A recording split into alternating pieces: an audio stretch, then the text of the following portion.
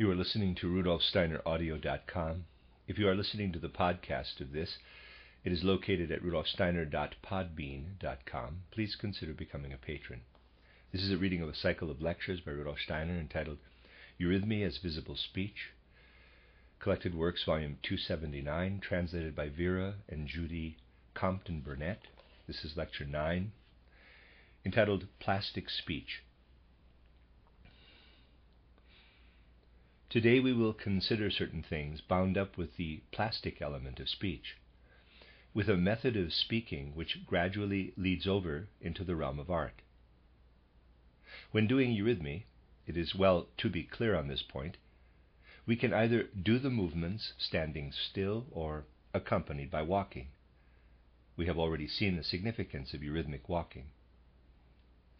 Walking is, fundamentally speaking, the expression of an impulse of will. When studying eurythmy, it is essential to understand the inner nature of all that is bound up with speech, and consequently with visible speech also. When taking a step, we can clearly differentiate three separate phases. One, the lifting of the foot. Number two, the carrying of the foot. Number three, the placing of the foot. We must be conscious that in these three phases, a whole event can come to expression. First, we have the raising of the foot. Then the foot remains for a moment in the air. It is carried. Thus, the second phase is the carrying of the foot. And finally, in the third phase, the foot is placed on the ground. Naturally, when walking in ordinary life, it is not necessary to bother about these details. In eurythmy, however, everything must become conscious. Thus we have number one, the lifting of the foot, number two, the carrying of the foot, number three, the placing of the foot. It is clear that much variety can be introduced by means of the different ways in which these three phases of walking are carried out. If, in the first place, we take the lifting of the foot, we see that this clearly indicates the will impulse inherent in the action of walking. Thus, with the lifting of the foot, we have to do with the impulse of will. When, on the other hand, we direct our attention to the carrying of the foot, we have to do with the thought element, which lies behind every will activity. In the first place, then, we have to do with the will impulse as such. Secondly, with the carrying of the foot, we have to do with the thought, which comes to expression in this will impulse. And in the placing of the foot, the act of will is completed. Here we have the deed. Now, much variety can be brought into walking by making the middle phase of longer or shorter duration also by actually making the step itself longer or shorter.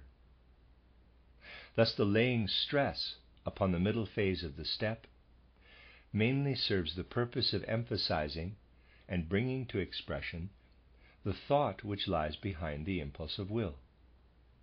It gives form to this thought. On the other hand, by the way in which the foot is placed upon the ground, you can always show whether you think the will impulse has achieved its goal or whether it has faltered in its purpose. If you put your foot down uncertainly, as though walking on thin ice, your step will express uncertainty of purpose. If you put your foot down firmly, with the assurance that the ground will not give way under your feet, you will show that your goal is sure and certain. Here, too, in working out a poem, you must analyze carefully and ask yourself whether the one mood or the other predominates. Of course, such things are, as these only become really clear when they are practically applied. Now, however, we will pass on to other aspects of walking. And this brings us into the domain of rhythmic walking, into that poetic element which must enter into eurythmy, into the movements and forms of eurythmy. It is indeed above all things important to realize consciously that either through special emphasis or through the longer and shorter syllables, rhythm must be brought into speech. And this rhythm must also make its appearance when expressing a poem in eurythmy. for it would have been impossible to call this art of movement of which we are now speaking eurythmy, if we had not taken into account the element of rhythm. This leads us over to a fact which must be considered if we are really to enter into the nature of speech eurythmy, a fact that is deeply impressed into all that is connected with the more artistic aspect of speech. We have within our modern civilization two types of language prose and poetry. The further we go back in human evolution, the more we find that poetical language is really the only language, and that the human being, when speaking, has the longing to bring into his speech the element of poetry, the artistic element. Speech may really be said to lie midway between thinking and feeling. Thinking lies on the one side, feeling on the other. As human beings, we have the inward experience of both thought and feeling. And when we express ourselves outwardly, when we try to bring something to external expression in speech, we really place speech midway between the two elements of thought and feeling. In the earlier periods of evolution, man had an inner life of feeling somewhat different from ours today. The man of earlier times always had the longing when feeling something deeply, when experiencing feeling in his soul, also to experience words rising up within him. Words which were not so clear cut and definite as our words are today, but which were nevertheless of the nature of articulated tones. He was able, as it were, inwardly to hear that which he experienced as feeling. The thinking of primitive man was also different from our thinking today. He really thought in words. These words, however, in which he thought, were more definite than those in which he felt. Thus words resounded within him. He, his was not such an abstract thinking as ours today, and words also resounded within him when he experienced feeling. That absolutely inward feeling which we possess and which has no need of words, was not present in his soul. Now, when we consider how closely the primitive life of the soul was bound up with word configuration, with tone configuration, we shall realize that an inner recitation, if I may so describe it, lay, in those early times, behind the thinking and feeling of man. A recitation based upon the combined development of speech, thinking, and feeling. And this inner recitation differentiated itself, becoming on the one side speech, which retained its artistic element, and on the other side music, that which is purely musical, the wordless sounding of tones, which depends for its effect upon pitch and so on. I dealt with this latter aspect in the course of lectures on tone eurythmy. But yet another differentiation took place the development of pure thought. And today I shall speak of the essential difference between these two types of language between poetic language, which must be given artistic shape and form, and prose language, which depends entirely upon the intellectual content and where there is no longer any necessity to give artistic form to the language as such. During the course of the last few centuries, as materialistic thought developed, for the abstract thought of materialism is closely bound up with the prose element, the true feeling for the artistic shaping and forming of language was lost. And today we find any number of people having absolutely no feeling for the artistic plastic element of language. They only regard language as a medium for the expression of thought and are quite indifferent to the quality of the thought, excuse me, the quality of the language through which this thought is expressed. I should not enter into all these things so fully if they were not of the deepest significance for the understanding of eurythmy. For in speaking about eurythmy, and taking the sounds as our starting point, we must enter at once into the realm of art. We must bring the inner soul nature of the sounds to outward expression. We must, as it were, go back to a time in which man felt in the word itself all that he experienced in his soul as sound. To a time in which there really was a true language of sound. Today there is no longer a true language of sound. We have instead an intellectualistic language, which only serves to express concepts and thoughts. And this is the reason why today in recitation and declamation, people no longer perceive the artistic, plastic element in language, the musical element, the form giving element, but make the mistake of looking only for the meaning, of emphasizing the meaning, which is, of course, also present in prose. It is essential for every eurythmist to gain a true perception of the difference between poetic or artistic language and the language of prose. For the mere understanding, it is, of course, a matter of no importance as to whether the wording of an idea is beautiful or ugly as to whether or no words create a noble impression. But for an artistic forming and shaping of speech, it is just these shades of feeling and character which are so important. And this is why we must strive to gain an understanding of the artistic, plastic formation of language. The first step toward this understanding is the development of an inner feeling for the iambic and trochaic rhythms. For the moment, we will not bother as to whether we will express the iambic measure by a strongly emphasized beat preceded by one less strongly emphasized, or whether we will show it by a long beat preceded by a short beat.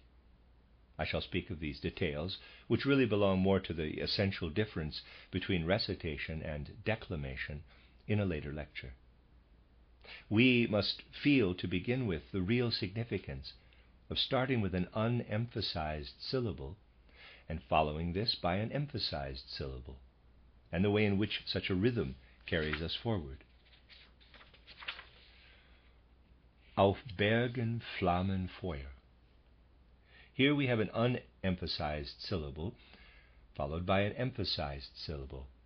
This is repeated three times, the fourth time being incomplete we pass over from the quieter to that which has more movement, from the weaker to the stronger. This brings into walking a special characteristic the characteristic of going toward something, the wish to reach something. And when we step to this rhythm, we feel immediately that we enter into the inner element of the will. The iambic element brings into speech the character of will. Let us now take the opposite. Here the emphasized syllable occurs first, followed by the unemphasized syllable. Trag mir Wasser herab. This is just the reverse of the previous example. We begin with the strong, important beat and pass over to the weaker, less accented beat. If you move in such a rhythm and enter into its feeling, you will at once perceive that here one takes one start from something quite definite. And this feeling of something quite definite can only be present when you have a clear concept, a clear thought, a clear cut thought. In this case, you do not strive toward something, but you express in the rhythm your definite thoughts. Thus, with the trochaic rhythm, we have to do with thinking. This thinking naturally manifests itself in action, but thought is really the dominant factor will, striving, predominates in the iambic measure. Thought, the realization of thought, in the trochaic measure. You must not, of course, carry these indications to extremes. You might, for instance, picture this energetic iambic rhythm as being expressed by a rapid progress downhill, and connect this progress with an activity of will. On the other hand, you will be more inclined to connect the trochaic rhythm with seeing or perception.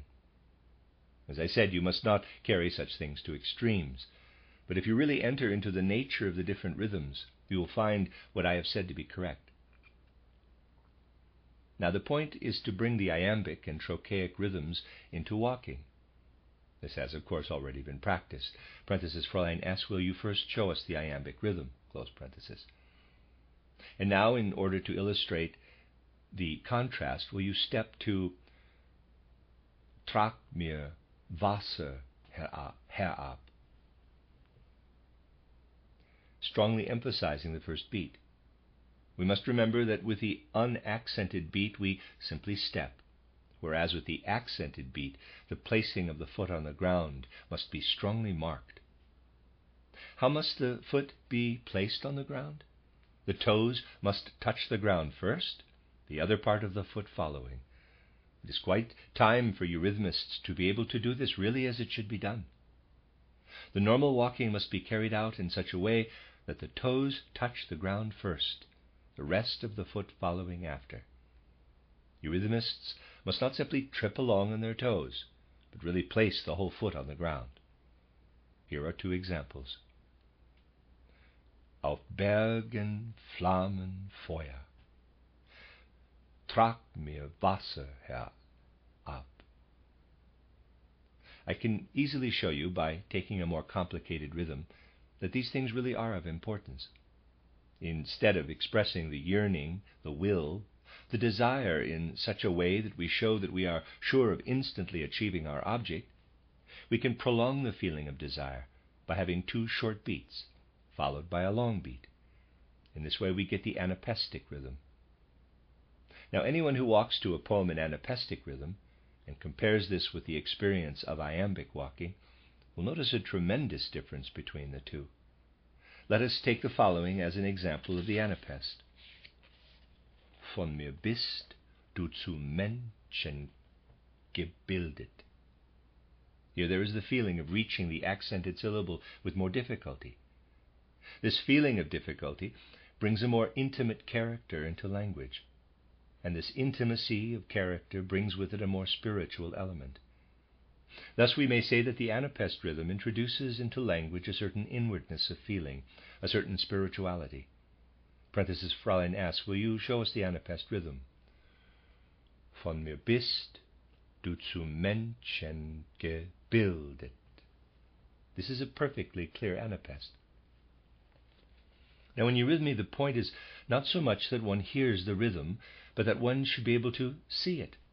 For eurythmy is visible speech and for this it is necessary to accustom oneself clearly to show the emphasis on the strong beat, then the unaccented beat will take care of itself.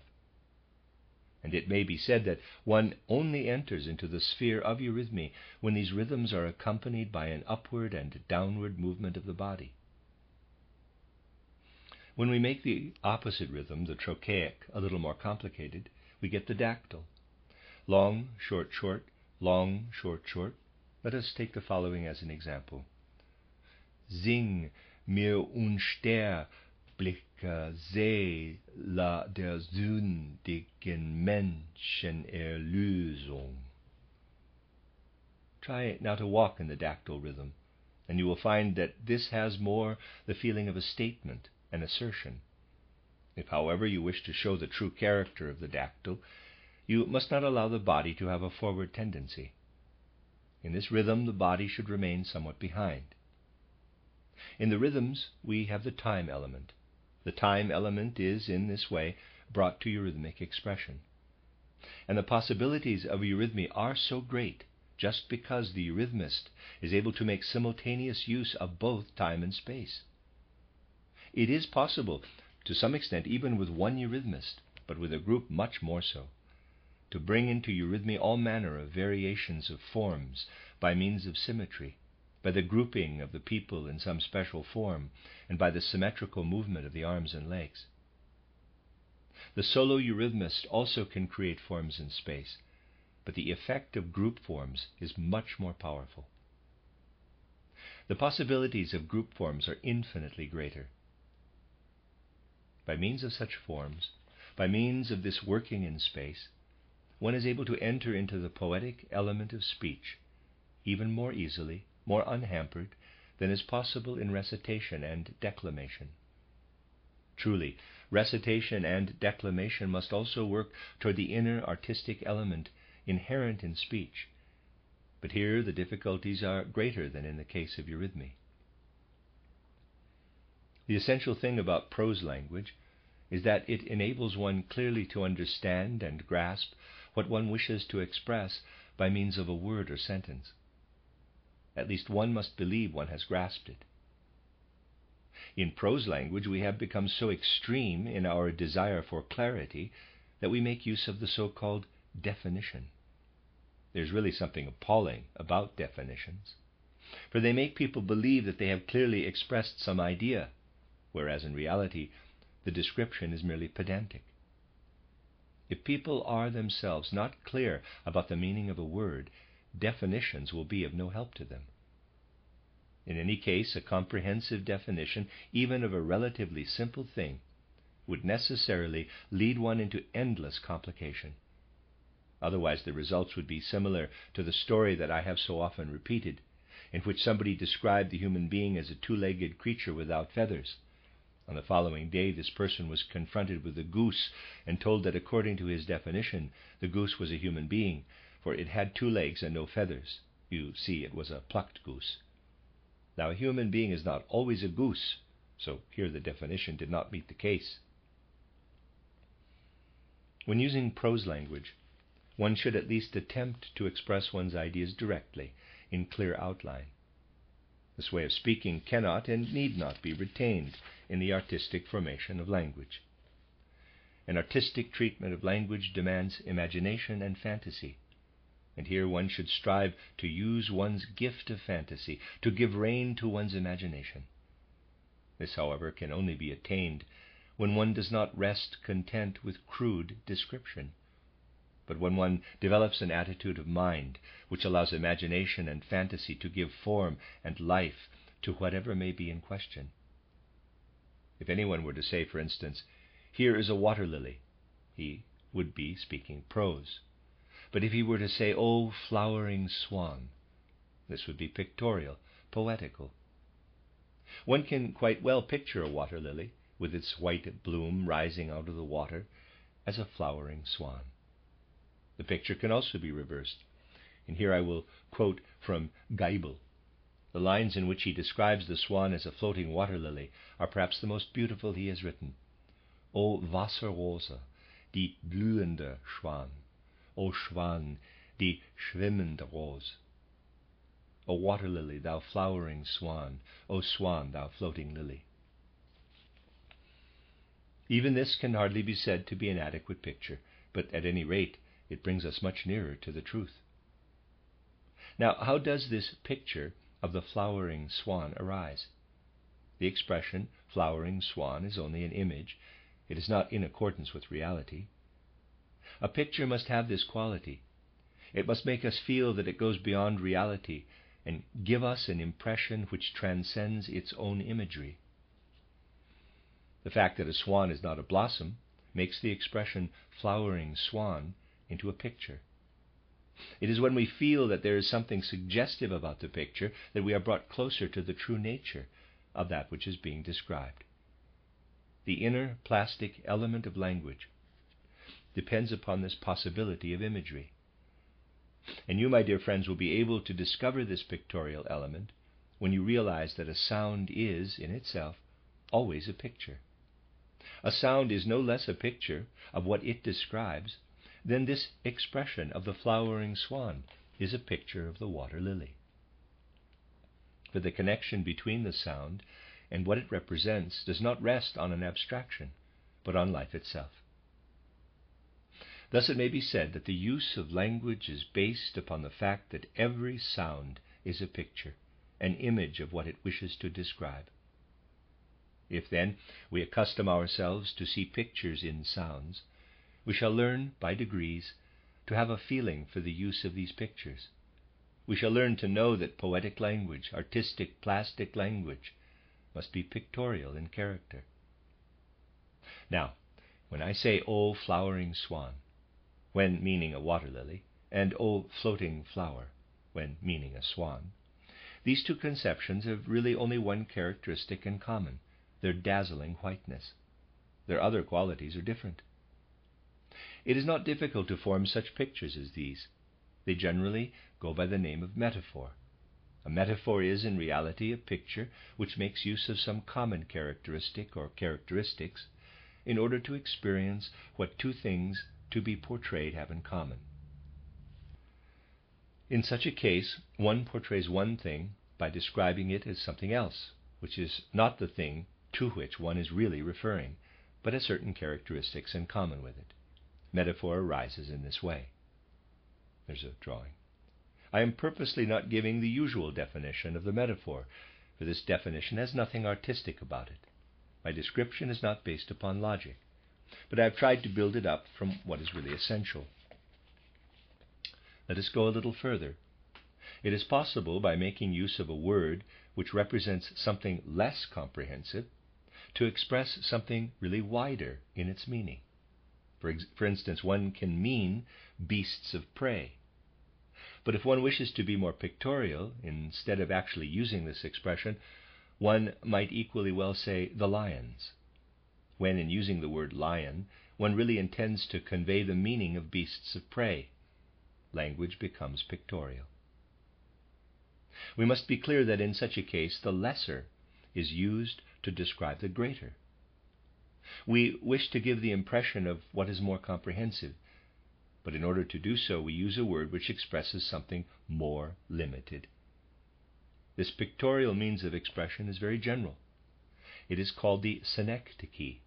In the synecdoche, we have a picture in which one makes use of the lesser to express the greater. The reverse is also possible. It is possible to make use of the greater to express the lesser. A particularly strong impression is created by this means. For instance, we have Byron's picturesque expression to describe the attitude of a lady who is something of a shrew. He says, She looks curtain lectures. German, sie blickt Garden and Predigten.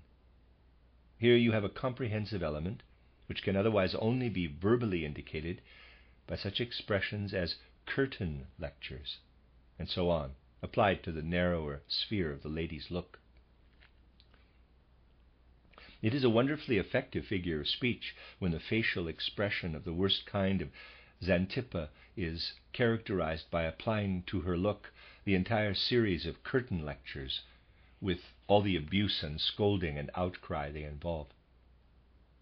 In this case, the more comprehensive is used for the more limited. We must find a means of expressing these things in eurythmy. First, let us try in the simplest way. Wherever a metaphor occurs, it may be shown by taking a step sideways, either toward the right or toward the left. Wherever you have to do it, whether, wherever you have to do with anything in the nature of a metaphor, you may introduce this sideways movement into the form. If you wish to express the synecdoche in a case where the greater is used to express the last, lesser, you must go backward.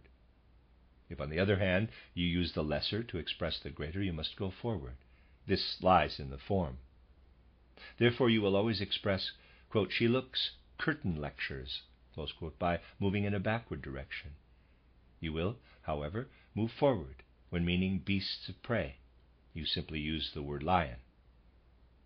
If therefore in eurythmy you move backward in space, you immediately give the impression of reaching towards something more comprehensive whereas moving forward signifies entering into something less comprehensive. In order to illustrate this, try to express by means of the direction in which you move the following sentence I strive toward the heavenly powers, moving backwards. And now I shall immediately take another example so that you may see the difference between the two. I shut myself within my little room, moving forward. You must express these examples simply by means of the direction in which you move. With the first, which indicates a striving toward the greater, you must go backward. With the second, I shut myself within my little room, you must go forward. In this way, we have the possibility of expressing by means of a forward and backward movement all the inner shades of feeling contained in these things. What I have here indicated is of the utmost importance for stage art in general, for only by understanding the meaning of this walking in a forward, backward, or sideways direction, does one learn to move on the stage in the right way? Without such understanding, one might quite well try to express something of the nature of a prayer by means of a forward moving line, which would be utterly out of place. For in the case of a prayer or a petition, the backward moving one at once gives the right feeling. When expressing the wish to teach something, thus entering into the realm of thought, one will not go backward, but forward in the form. In the case of a conversation, the movement is neither backward nor forward, but sideways, for conversation is really of the nature of metaphor. Today I have indicated several things which, as they are further developed, will serve to make speech me more complete and worthy of being called an art in the true sense. The end of Lecture 9.